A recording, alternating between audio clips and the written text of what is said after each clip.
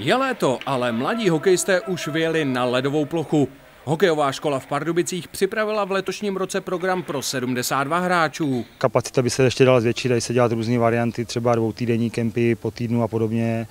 Eh, já si myslím, že my na první ročník, když jsme vlastně začali od nuly, vůbec jsme nevěděli, co od toho očekávat a do toho projektu jsme šli s takovým trošku rizikem a tak jsme velice vděční. Mladí hokejisté byli rozděleni do tří skupin.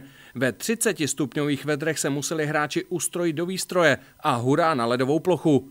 Trenéry jednotlivých kategorií byli zkušení pardubičtí hokejisté Petr Čáslava, Richard Král a Michal Mikeska. Máš to? Mám.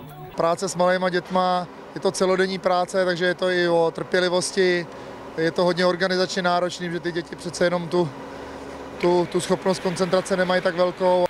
Organizátoři připravili pro děti náročný a zároveň pestrý program. Hokejisté se rozhodně nenudili.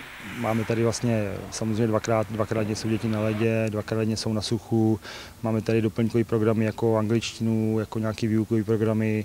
Samozřejmě děti se dostávají i do akovat centra, do lanového centra. Snažíme se, aby ten, aby ten den pro ně byl zajímavý. Mladí hokejisté odjížděli z hokejové školy nadmíru spokojeni. O těchto prázdninách nazbírali nové nejen hokejové zkušenosti.